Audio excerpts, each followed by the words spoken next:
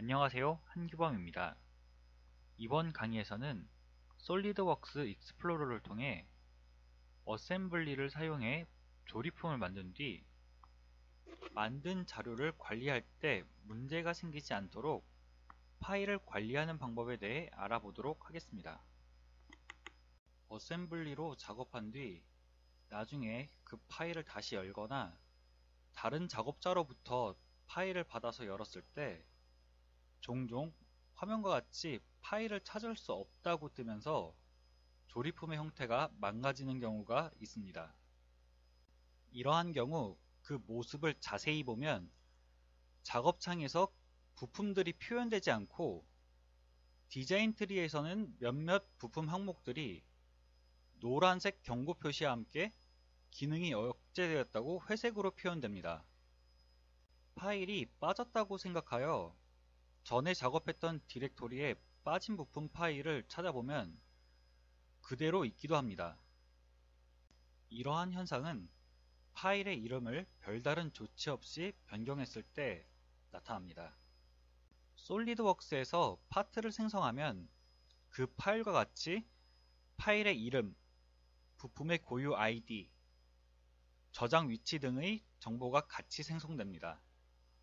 SolidWorks에서는 이 정보들을 기반으로 파트와 어셈블리, 도면 모두가 유기적으로 작동합니다.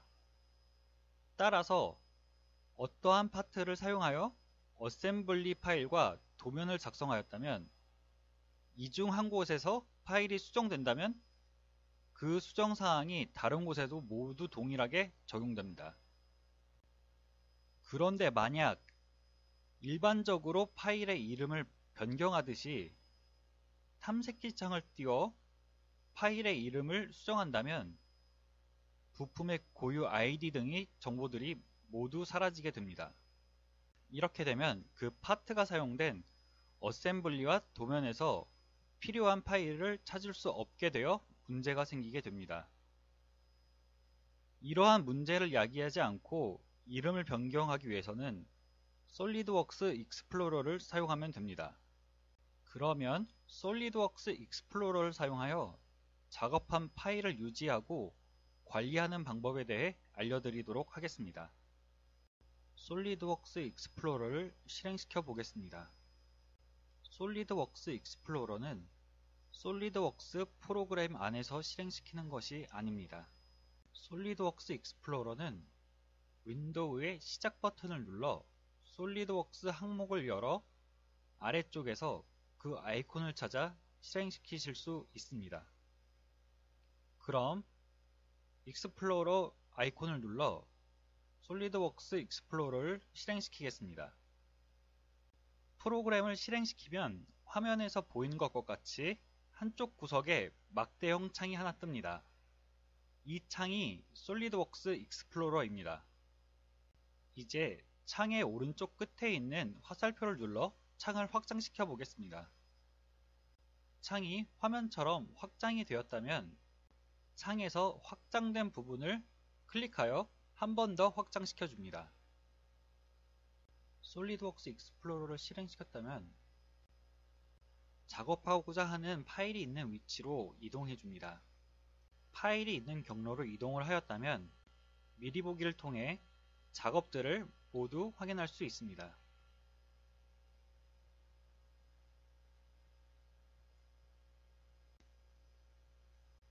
윈도우에서의 아이콘을 통한 썸네일은 아주 큰 아이콘을 선택했을 때도 종종 깨져 나오지 않습니다. 윈도우 탐색기 아이콘에서 윈도우 탐색기에서 파일을 선택할 때 아이콘으로 뜬 썸네일을 보면 아주 큰 아이콘 옵션을 선택했을 때도 표현하지 못하는 파일들이 있습니다.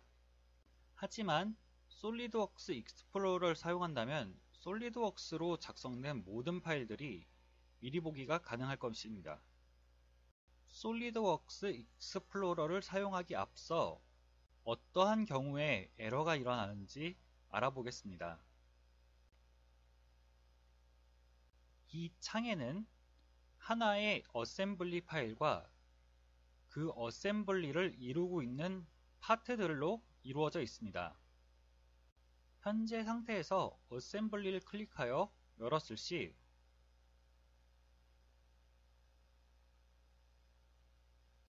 아무런 문제가 없이 파일이 열립니다.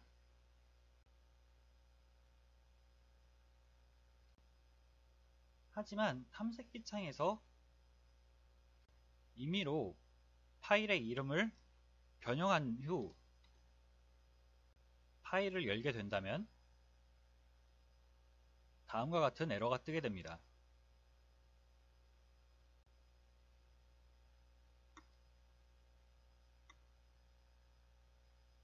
이러한 문제를 방지하고 더 효율적으로 파일을 관리하기 위해 SolidWorks Explorer를 사용합니다. SolidWorks Explorer를 사용하여 파일의 이름을 바꾸는 방법을 알아보겠습니다. 먼저 수정하고자 하는 파일이 있는 경로로 들어가 파일을 선택해 줍니다. 여기에서 마우스 우클릭을 한 후 세 번째 이름 바꾸기 항목을 눌러 이름을 바꿔줍니다. 그러면 다음과 같은 창이 뜨게 됩니다. 이 창의 내용을 보면 현재 이름을 바꾸고자 하는 파일이 사용된 위치 창에 나온 내용을 보면 현재 바꾸고자 하는 파일의 위치와 바꾸고자 하는 새 이름 그리고 아래 사용된 위치 업데이트 칸에 이 파일이 사용된 파일의 위치가 나와 있습니다. 이제 이름을 바꿔 보겠습니다.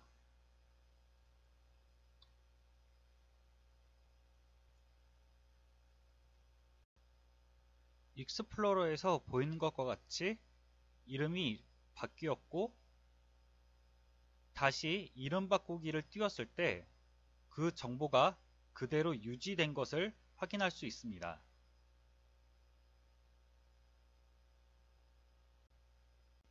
그리고 파일의 이름이 바뀐 것은 탐색기를 가도 확인할 수 있습니다.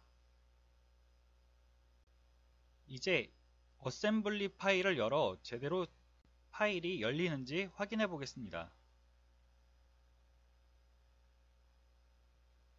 에러가 일어났다는 경고창이나 디자인 트리에서의 경고 마크가 없이 정상적으로 파일이 열리는 것을 확인할 수 있습니다.